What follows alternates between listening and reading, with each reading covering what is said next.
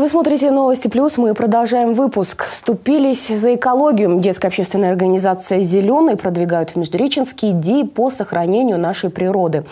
Они устраивают различные акции, ну а в этом году традиционно продолжили акцию «Ботастрофа». В учреждениях установили контейнеры для отработанных батареек.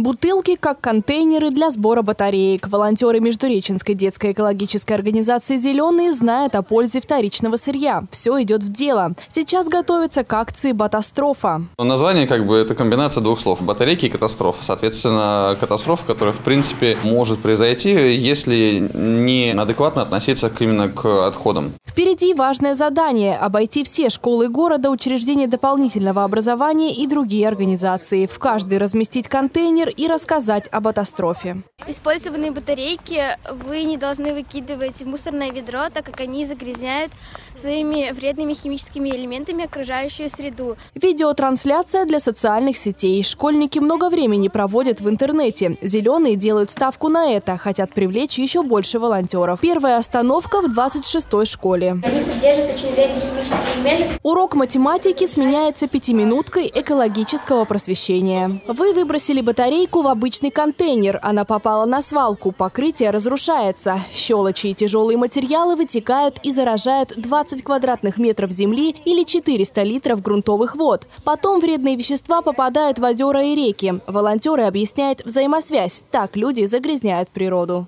У меня есть использованные батарейки, я их сюда принесу. В каждой школе город сотни учеников. Если дети поддержат инициативу «Зеленых», вместе они соберут огромное количество батареек. Междуреченцы увидят масштаб акции. На это надеются волонтеры.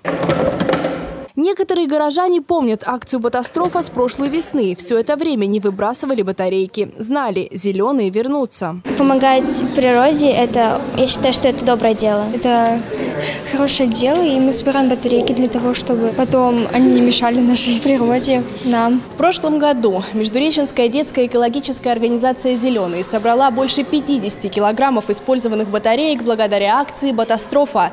Не оставайтесь равнодушными, примите участие.